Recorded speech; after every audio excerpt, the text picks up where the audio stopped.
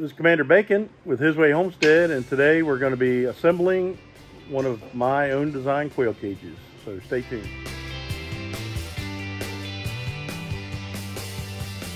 I got my lovely assistant Andy here. He's helping me. This is actually going to him and his wife Jennifer. So I already got all the pieces cut according to the plans that are available. Uh, and if you want those plans, really would appreciate a donation because there's a lot of work and effort went into it. Uh, you can uh, see the link uh, on our About page uh, on how to support us through PayPal. But we're going to show you how, once you've got all the pieces together, what else it takes to assemble the whole thing. So right now, I just put the hinges on one of the doors. So this is one of the doors. I put this piece of uh, aluminum angle on it and all I did was support it by two other inch and a half pieces of wood. So had it like there so that I could put the screws in. Uh, just cut a piece of like five inches of uh, angle iron, the uh, aluminum, and uh, drilled some holes in it and then screwed it in there. So what will happen is this will sit in the top frame assembly and everything will sit flush because of this little piece of aluminum. That's what's gonna hold it all together. So now that we got that, um, we're gonna install the hinges on the back side of it. I'm just gonna hold up here a second because I might need my lovely assistant Andy to operate the camera.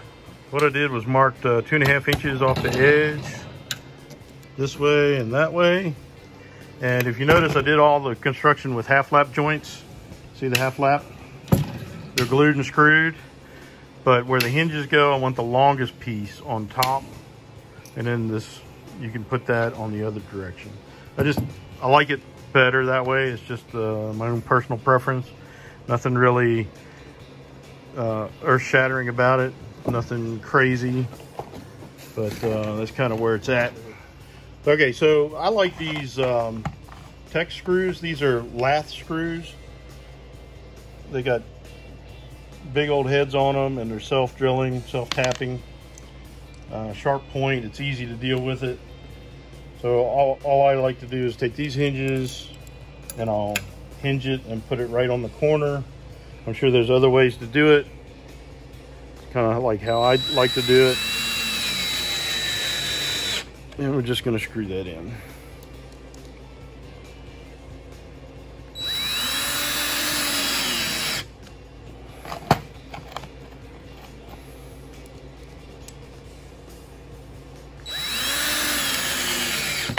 Okay, so we'll just do it again for the other side. You can go ahead. Now we're going to attach the um, the one inch by one inch wire mesh to the door, to the top of the door, the underside of the door.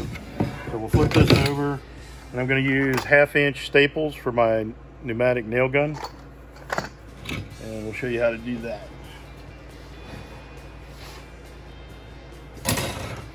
So just, you still going? Mm -hmm. Okay, so I just try to uh, center everything up on here. A lot of times you'll be looking at the um, the inside wire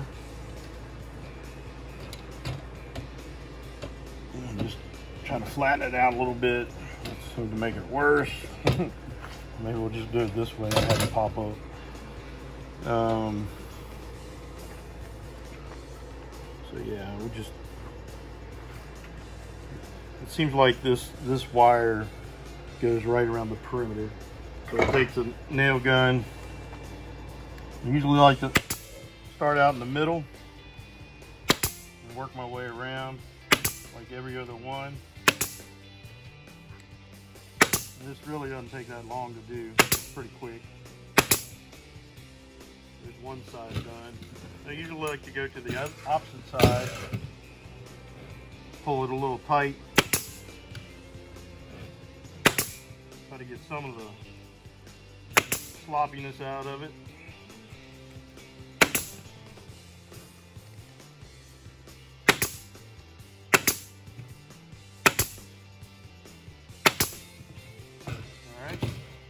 Sides to go.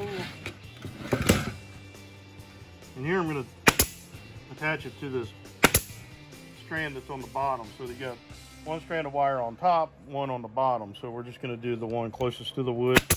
It'll make it, the sta staples go in a little bit easier. Now this is sticking up a little bit. I don't like that. So we're gonna go ahead pack that down.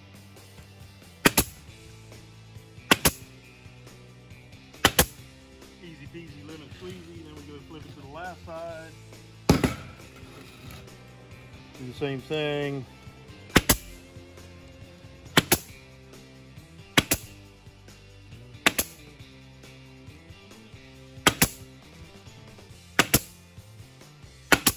I know the plans that I have were basically just uh, how to cut the wood in order to get the lap, half lap joints to work out. So I thought I'd show you a video on how to actually assemble it. I didn't bore you with assembling the half lap joints because it is what it is. You just put the half laps together, glue it and screw it. All right, so we got to put wire on this last door and then we'll show you how we assemble it to the top assembly. Okay, so we got the wire on the door. And now we just have to, and when we got the hinges on the door, we've got the stop on the door. So all we got to do is assemble the door to the top frame assembly. Again, it's just half lap joints. Y'all can figure that out. The, the size to cut it, the size of the half laps to cut, all that is on the plans. So, what we're going to do is take our one inch Tek screws. We're going to center this up as much as possible in just by eye in this assembly. Sling that down. We got the screw on there. We're to do the center one first. There we go. Going to go ahead and do the center one on this other hinge.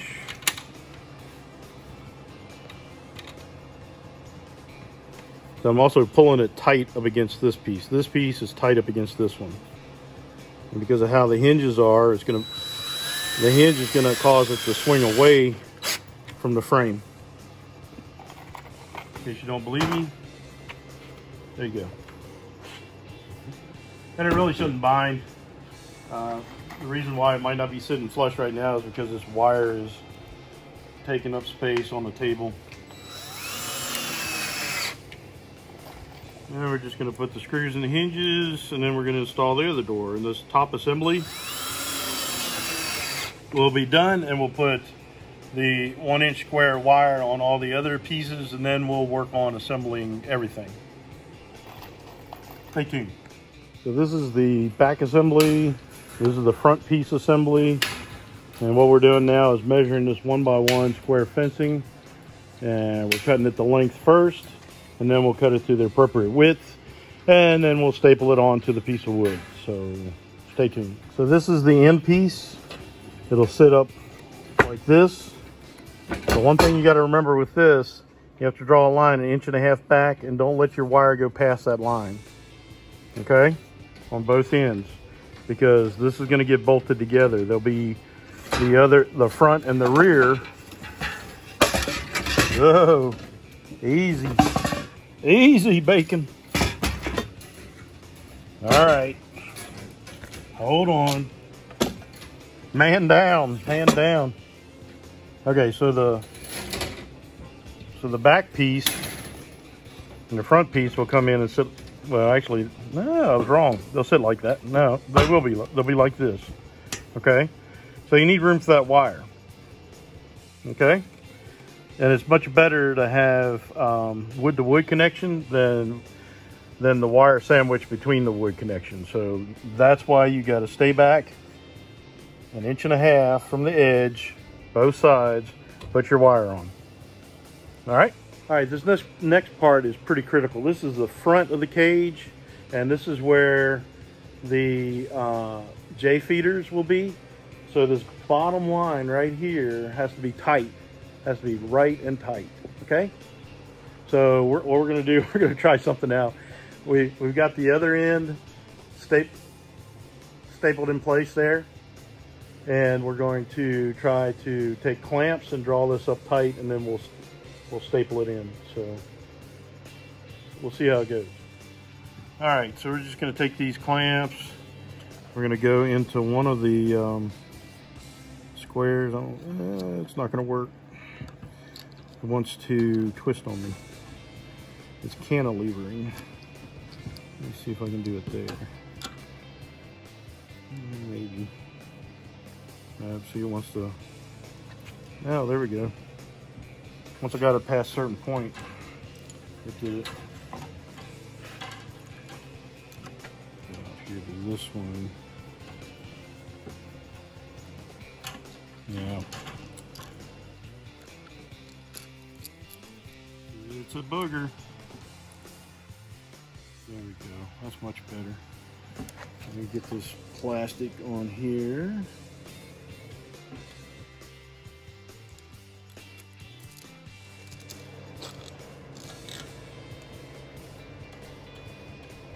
I think part of it too, it's drawing the wood in, which that's fine. So once we take the clamps off, the wood will spring out and it'll be tight, tight, tight, tight, tight. Fairly tight. So need to make sure it's flush with the bottom.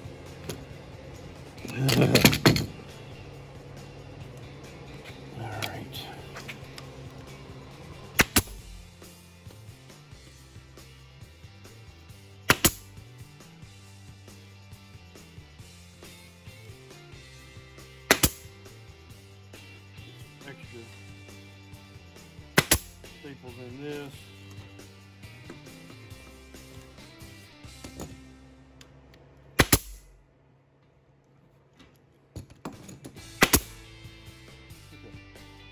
Pretty tight.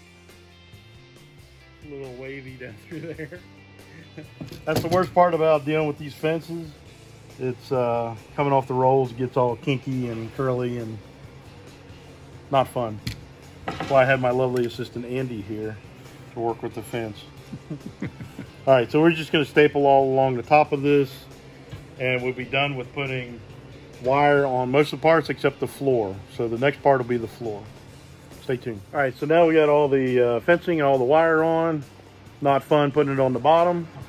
And now we're gonna start attaching the pieces together. So uh, I like to use these Power Pro 1 screws they're a quarter inch by two and a quarter inches. And what we'll do is we'll take a Forstner bit, we'll pilot hole or countersink this and then bolt it together that way. This is a self-drilling, self-tapping kind of kind of screw, no pre-drilling needed. But in order for this to get tight, we're gonna drill a hole through here with a countersunk so that screw head will be flush. So stay tuned. Okay, so we're gonna we're gonna countersink this hole here. We're just gonna go as deep as the Forstner bit. And that's all we're gonna go. We're gonna put one in the middle, uh, in the middle of the side piece, roughly.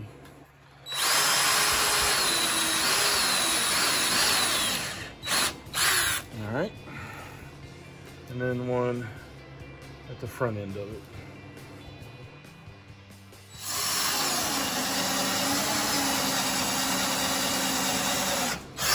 And that's as deep as we're gonna go.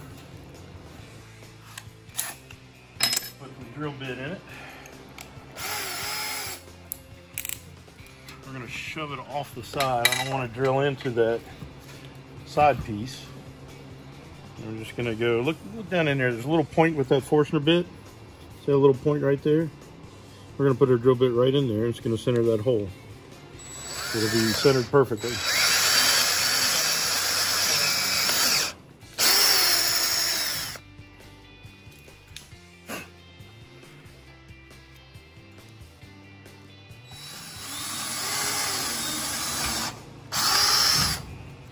You might end up cutting through wire. It's okay. I'm sure you heard that. All right, now we're gonna line up the side piece.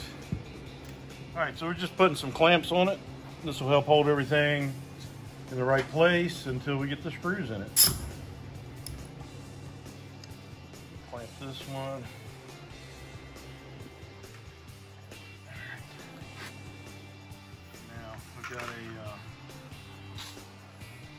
5 16 driver on my impact wrench.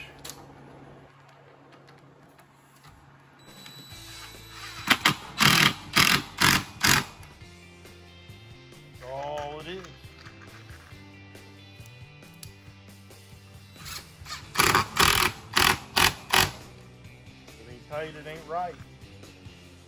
Get it in here.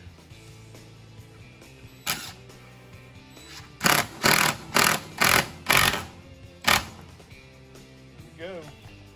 Okay, so we're gonna just repeat this process, tie all the sides and the back and the front together, and uh, we'll, then we'll flip it all over and put the top on. Okay, so we got this side, the back, and the other side on, and it's upside down. This is the bottom. So right now we're gonna spin it around. We're gonna screw the, uh, the front on it. After we get the front, then we're gonna flip the whole thing upside down and, and screw on the top. And then all we have to do is drill some holes, throw in some carriage bolts, mount the legs, and bada boom, bada bing, we're done. Stay tuned. So the thing you gotta watch here is this is double thickness. This is three inches across. And you've got, you're screwing into this right here. So this is only inch and a half thick. So you gotta make sure that you're, you're centered, you're three quarter inch off, off this edge in order to get your bolt to be centered in this other piece that it's screwing into. That make sense? Yeah, you got it. Okay, so now we got the front attached, still upside down. We got it attached with one screw on one side and one screw on the other side. Now we're gonna flip it over and we're gonna put the top on this bad boy. Okay, so we've got the top set in place. We're gonna drill some countersink holes and drill holes and screw screws and get this top permanently attached. So no point in boring you with that. This video is starting to get long already. So we'll come back after we get it together and we start putting the legs on this thing. Stay tuned. Okay, so here's the finished quail cage. Just the box itself. We don't have legs on it. We don't have the watering system. We don't have the feeder. But there it is. What do you think, Andy? I, I think it's great. It's awesome. I love it. Where'd you get that Mickey Mouse shirt? Walmart. Roll Tide. Roll Tide. Anyway, uh, so yeah, we're just uh, we gotta gotta drill the pivot point for the legs. Well, actually, for the box is right here, dead center of this 10 inch piece. Right, three quarter inches off of this. We'll throw a carriage bolt in there and attach the leg to it, and then we'll clamp the front of the cage to the front part of the leg. So stay tuned, we'll get that done. You ready? All right, so we're gonna measure three quarter of an inch in and let's see what the overall on this is. It's 13 inches, so we're gonna go six and a half. Let's three quarter up here at the six and a half mark. All right, that's where we're gonna drill our hole. Stay tuned. All right, you ready? Yep. All right, so we're just gonna drill this hole, this uh, quarter inch hole through here. We got a quarter inch lag bolt.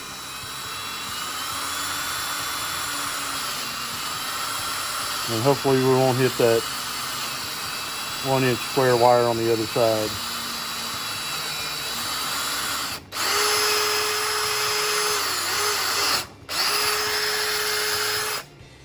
All right, there's that one. Now, we're gonna measure six and a half inches down here and mark it.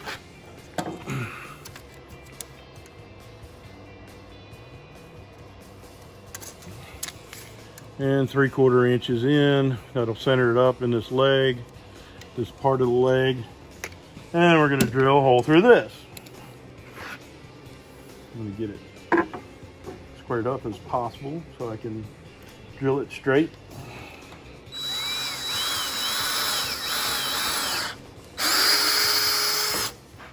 All right. What we're gonna do is open the lid. Easy opening. Stays open. Take this lag bolt through there. Let me find the hammer.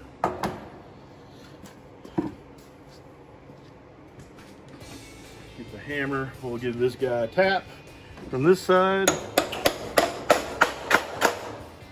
Set that carriage bolt head in there. How long carriage bolts did you get? These look really long. He told me to get three and a half or four, and they only had four. Okay. Three would not have worked.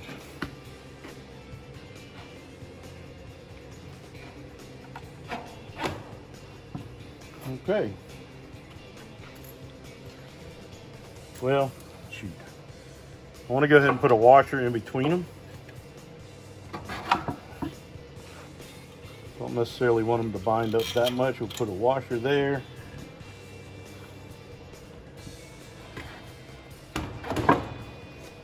That. And we'll cut this, we'll cut this off. The washer on there, put a nut.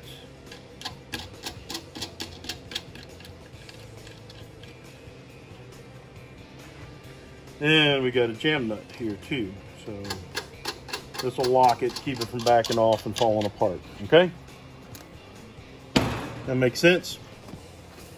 All right, somehow we're gonna have to flip this around and or support it with the table. Hey.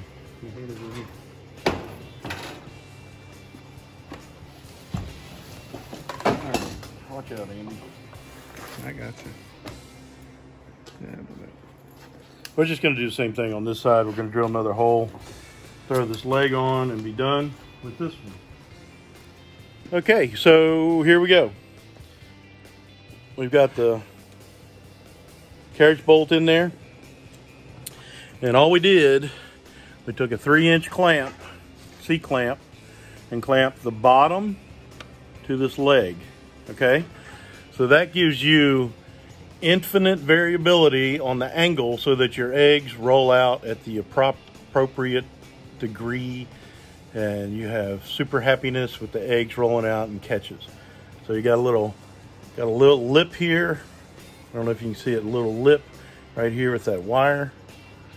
And that's going to keep the eggs from rolling off and falling and breaking.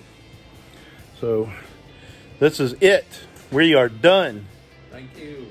So when you're using it as a brooder brooder, and the the the your quail are not at the age of laying eggs, I highly recommend raising this up so it's flat. There's no point in having them walk on an angle if not necessary. If they're not laying eggs, put it flat. And then once once you feel confident with this angle, you can always drill a hole in that leg and screw it to the bottom and get rid of the C clamps. Or you can just leave the C clamps. I leave the C clamps on, and uh, it's good enough. So, what do you think, Andy? I think it's a great job. It's an, it's pretty awesome. We're done for tonight. Yes, sir. All right. Andy said we're done. We're done. So, until next time, I hope you like this video. Hit the thumbs up if you like it. Thumbs up. And if you don't, just don't say anything. Just go away. Uh, I hope you do like it though.